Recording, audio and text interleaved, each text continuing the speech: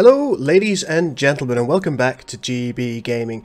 Today I want to do a very quick tutorial with you which might make your lives a little bit easier. Uh, what I'm going to show you is something called, uh, well, Sins Mod Manager version 1.1. Uh, pretty simple title, uh, very catchy and it does exactly what it says on the tin.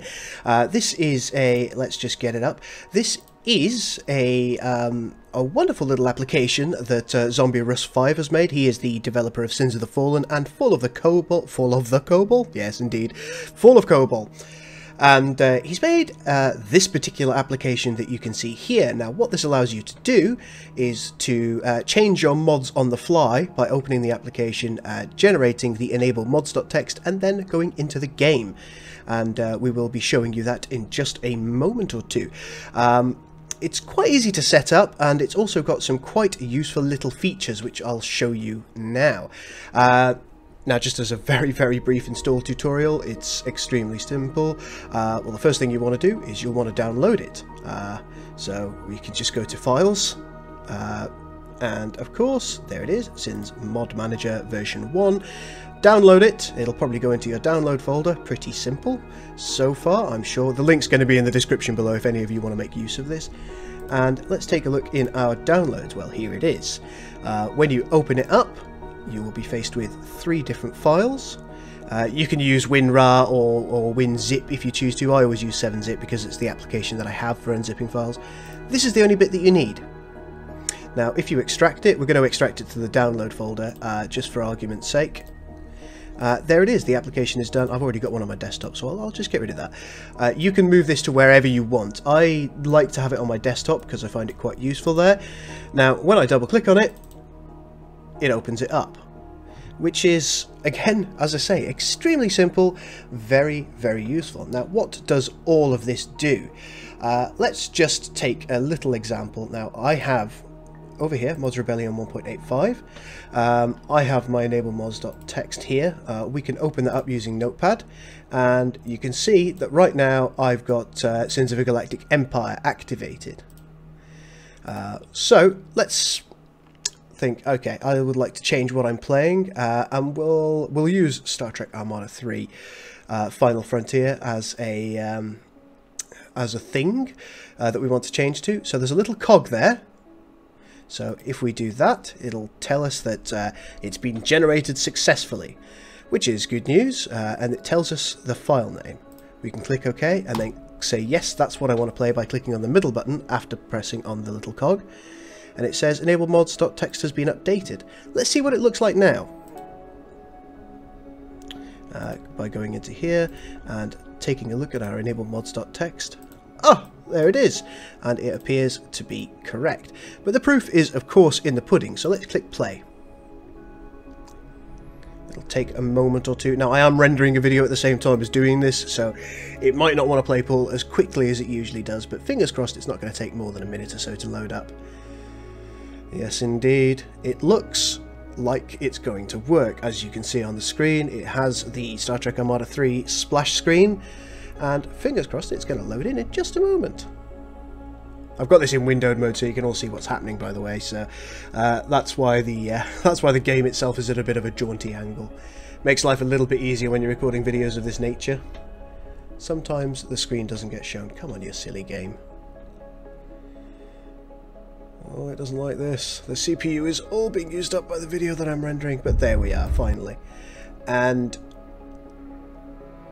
once it loads into the menu, we can see that Star Trek Armada 3 is indeed active. That's fantastic stuff. Let's exit the game and we'll try something else. Let's think about Star Wars Interregnum. We click that. It hasn't found it at the moment, but it wants to know what add-ons that we have. So we can either generate it for E4X, which is a standalone mod, or Interregnum, which includes E4X. These are all the common mini-mods that you may have downloaded.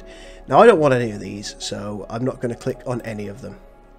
Let's go OK. Generated successfully. There it is. Star Wars Interregnum Alpha 3.3 and Enhanced 4X 1.82. Then we click on it saying that's the one that we want. And we'll click on play again.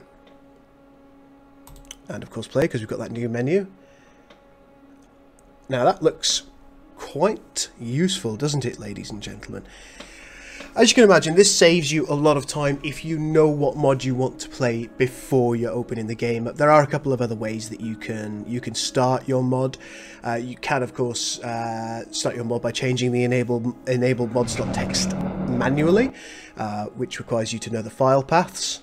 And you can also, with some mods, you can change it by going to options, mods, and then changing it in this section. But that is historically not very good. Uh, sometimes it crashes the game, sometimes it causes long-term freezes. So a, a, lot of people who change Sins mods on a regular basis, they tend to ignore this one that's uh, in the actual uh, game itself.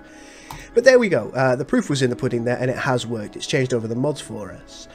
But uh, just as a wild example, now Maelstrom isn't something I currently have installed, so if I was thinking, oh, Maelstrom looks good, this is one of the very popular mods. This, of course, as you can see, contains all the uh, the most popular mods for Sins of a Solar Empire Rebellion.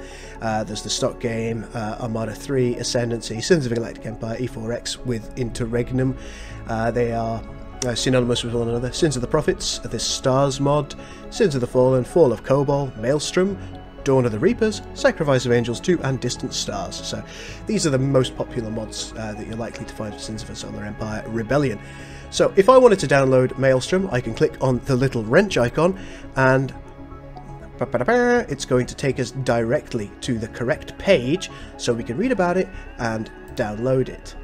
Uh, now, as it happens, I downloaded Maelstrom earlier, and here it is, as you can see, in my uh, my downloads folder. But another useful aspect of this uh, particular application is there is a little button down here called Install Mod. So let's do a bit of that. Um, there it is, Maelstrom Rebellion. Click Open, and it's saying uh, it's installing to this particular folder, which is the correct folder as it happens. So we'll click Yes. It's having a think about it. It's probably going to take a minute or two because it's got a Wempak. So we'll just sit here, watch that happen. Now you can see that it's using 7-zip. Uh, now I believe you have to have 7-zip installed to make this work, which is why the Sins Mod Manager had the 7-bit, uh, the 7-zip applications. Um, in order for this particular aspect to work. I think it's worth it because this is actually very convenient. Uh, once that is done for Maelstrom, you can then, of course, press your cog. It says generated successfully. There we go. And then let's press play and fingers crossed this is all going to work perfectly. We've downloaded the mod um, using the help of the application to find the correct file. We have installed the mod uh, using the application in order to place it in the correct place and we've changed the enable mods.txt using the application. Let's see if it's worked. Now I'm not sure if it's worked yet because it's been a long time since I played Maelstrom. Let's just to go a tiny map.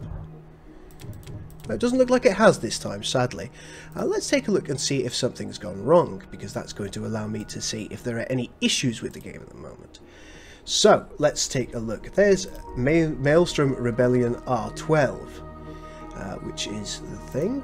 Uh, let's take a look at our enable mods.txt. Oh, it's been modified. Ah, there we go. So there is a slight problem that you may run into if the mod has been updated more recently uh, than the application itself, you might run into a little bit of trouble here. Now, there are certain things that you can do in order to mitigate that, like just as an example, if I take this, uh, have I, yes, I've exited Sins. So if I take Maelstrom Rebellion R10 dash expansion, uh, I find my current folder, which is called R12, and I rename it, and save, save that. Then what will likely happen if I say I want to play Maelstrom, yes, uh, press play.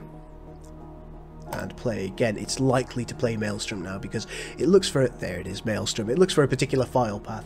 So if your mods do get updated and it changes the name of the folder then it may cause problems. I'll actually I'll note that to Zombie Rust because you can always produce an updated version.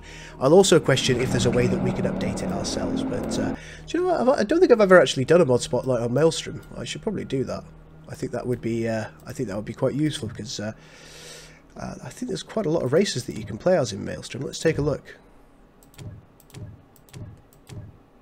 oh god, look at them all. So uh, you can play as the Pirate Loyalists, Pirate Rebels, uh, Norlamins, Alliance, uh, Replicators. Ooh. Yeah, uh, we will take a look at that in the future, but uh, that's not going to be today. So that is uh, the Little Sins mod manager. Uh, very, very quick tutorial on how to install it and how to, to make use of it. Uh, the mods that I do know that work correctly are Armada 3, Ascendancy, E4X and Interregnum, Sins of the Prophets, Dawn of the Reapers, of the Fallen and Fall of Kobol both work correctly, Sacrifice of Angels 2 works correctly. Um, I haven't tried stars or distant stars. I do apologise to the mod creators for not having tried them yet, but it's something that I will do. I expect they work. I know that the file path of Maelstrom has changed, and I know that the file path of Sins of a Galactic Empire has changed recently.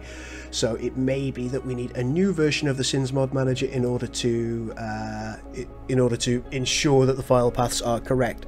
But nonetheless, in spite of those uh, two slight deficiencies there, it's a really useful application. Uh, I will have the link in the description below, and I do suggest that you try it out and see if it saves you a bit of time and effort when looking for, downloading and installing mods. Well, thank you very much for taking the time to watch this video.